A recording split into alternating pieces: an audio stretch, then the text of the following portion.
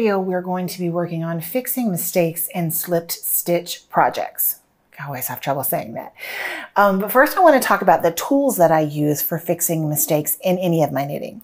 My most important tool is a crochet hook or multiple crochet hooks as you see here.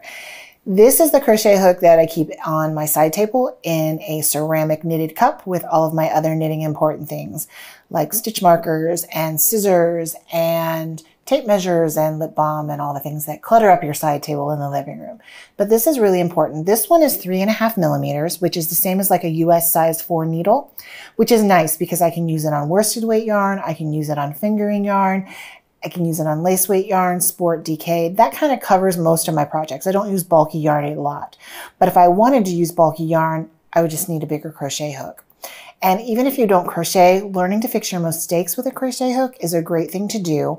Um, when you fix mistakes with your knitting needles, it's very easy for the stitches to become twisted or oriented in the wrong direction. And then you have a place where you can go back and look at your knitting and say, oh, I made a mistake crochet hooks fix this. So I wanted to show you a couple other things that I have. If I am going out of town, these come with me and they go on my keychain for real. And this has three different sizes of crochet hooks. So we have a big one like for bulky things, kind of a medium, and then a tiny one. And these are really nice because no matter where I'm at, I'm in a hotel, I'm traveling for work or whatever, I always have these to fix my mistakes. And then this little guy has kind of that medium size and then also a small size. And this one I love because it's small enough to fit in the change zipper portion of your wallet. So this is actually always with me. So if I'm sitting in line somewhere with my husband and I need to fix a mistake, I just pull it out of my wallet and he thinks I'm a magician. So what I have here is I have some slip stitch work that is messed up. Messed up is bad, but here messed up is good because we're going to learn something. So if you look at these slip stitches, I'm going to use my little pencil here to show you. They're gathered up in intervals. So we gather here, we gather here, we take these slip, slip stitches and gather here.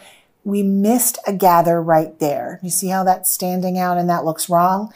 And I'm getting ready to do my next set of slip stitch, slip stitch work. And I'm like, oh no, I've gathered, missed a gather. So what I'm going to do I'm to bring my yarn to the front so I remember that I'm slipping these stitches.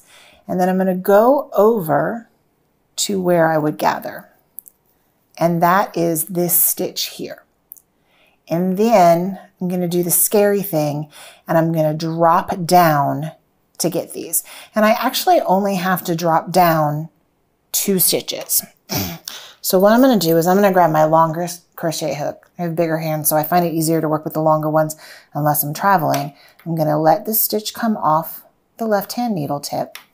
And I'm just going to use my crochet hook to unplink once and unplink twice. Now, I'm going to stick my crochet hook through the front into that stitch to hold on to it, just because I don't want it to go anywhere.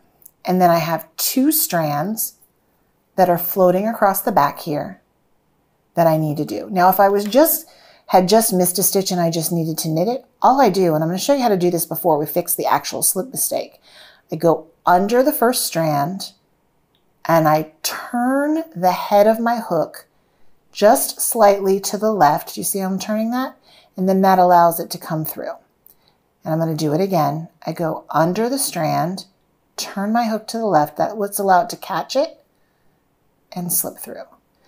And then when I'm putting that back on my needle tip, I go from the front to the back. And then we have a properly oriented stitch that is sitting correctly on the needle. But let's drop those back again because we had dropped two. We need to catch these slips underneath. So what I'm going to do here, I'm going to go under these two strands and get my guy. See, I've got my guy here. And the first thing I'm going to do, see how I'm turning the head of the needle? I'm going to pull my guy over top of these because you see over here, the lighter yarn is sitting on top of the darker yarn. And then I'm just going to do the same thing I showed you a second ago. I'm going to grab my first strand, turn my head to pull it through. And when you're turning your head, you're basically making it so the hook part, let me grab the bigger hook so we can see that a little better with the pink. When you turn your head, you're turning it so the hook part can slide. You don't want the hook to catch again on this next strand. So here we have the next strand. We go under, we turn our head, and we slide through. And then again, when you go to put this stitch back on the left-hand needle, go into the front of the stitch, not the back of the stitch, and then pull your crochet hook out. And see, we've totally fixed that mistake. Watch.